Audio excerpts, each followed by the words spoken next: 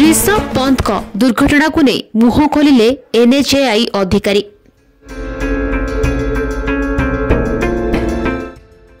ଭାରତୀୟ cricketer Rishabh Pant car ଦୁର୍ଘଟଣା ମାମଲାକୁ ନେଇ ଏବେ ନୂଆ ମୋଡ଼ ନେଇଛି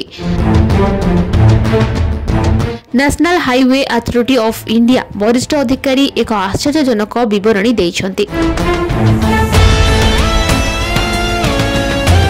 କହିଛନ୍ତି ଯେ ରାସ୍ତାରେ ଋଷଭ ପନ୍ତଙ୍କ ଦୁର୍ଘଟଣା ଘଟିଥିଲା ସେଠାରେ କୌଣସି ଖାଲ ବା ଗାଡ଼ ନଥିଲା।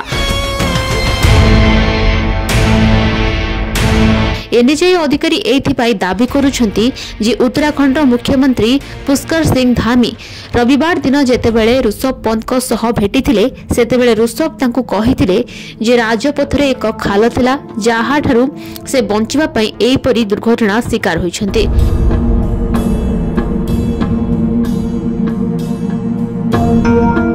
ଏନ୍ଏଚ୍ଏ ଅଧିକାରୀ ପ୍ରଦୀପ ସିଂ ଗୁହାଇ ସୂଚନା ଦେଇ କହିଛନ୍ତି ଯେ ଯେଉଁ ରାସ୍ତାରେ ଦୁର୍ଘଟଣା ଘଟିଛି ସେଠାରେ କୌଣସି ଗାଢ଼ ନଥିଲା।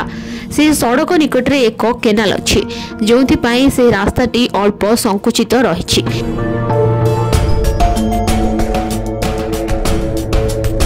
କିନ୍ତୁ ଖବର ଆସି ପହଞ୍ଚିଥିଲା ଯେ ରବିବାର ବିଳମ୍ବିତ ରାତିରେ ଦୁର୍ଘଟଣା ସ୍ଥଳକୁ ଶ୍ରମିକଙ୍କୁ ଲଗାଇ ମରାମତି କରାଇଛନ୍ତି।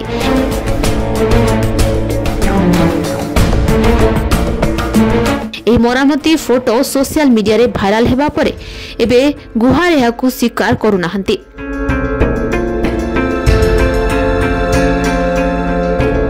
ଏହା ପୂର୍ବରୁ ଉତ୍ତରାଖଣ୍ଡ ସିଏମ୍ ପୁଷ୍କର ଧାମୀ ମାସ୍କ ହସ୍ପିଟାଲରେ ପନ୍ତଙ୍କ ସହ ଦେଖା କରିବା ପରେ ସାମ୍ବାଦିକମାନଙ୍କୁ କହିଥିଲେ ଯେ ଋଷଭ ଏକ ଗାଡ଼ରୁ ବଞ୍ଚିବା ପାଇଁ ଏହିପରି ଦୁର୍ଘଟଣାର ଶିକାର ହୋଇଥିଲେ।